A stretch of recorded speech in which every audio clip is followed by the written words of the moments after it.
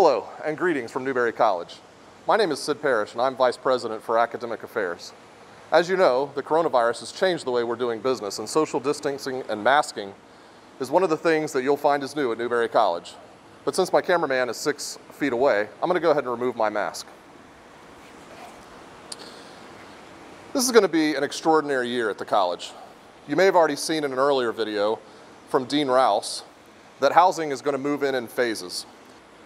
Classes will start August 17th in a virtual format. Our faculty have been undergoing professional development in online pedagogy to make this transition as easy as possible on you, our students. Over the next few weeks, we will phase in to in-seat, in-seat instruction and we'll be back full-time by September 8th.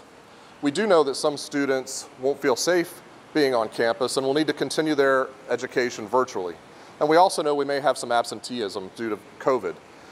Faculty be ready to handle and help any student transition between in-seat and virtual learning uh, throughout the semester. We call this high flexibility, and our faculty are ready for that.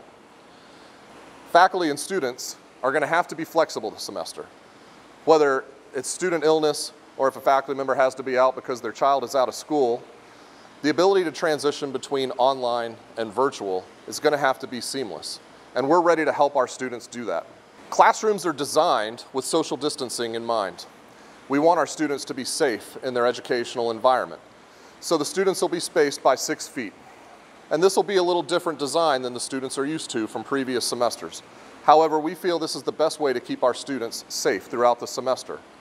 Masks will be required while in the classes. Again, this will help keep each other and the faculty safe. Social distancing is also being designed into our other general spaces, such as the library, the Center for Student Success, our dining hall, and other areas on campus. Finally, we're moving our bookstore. But don't worry, the bookstore will always be open for you to get your books or other swag that you'll need as you come to Newberry. There's much more information about this on our website, or you can email our response team. The website and the email address are on the screen. We're excited to have you back. This is going to be an interesting but fun year, and we know we can get through it together. We look forward to seeing you on campus on or around Labor Day.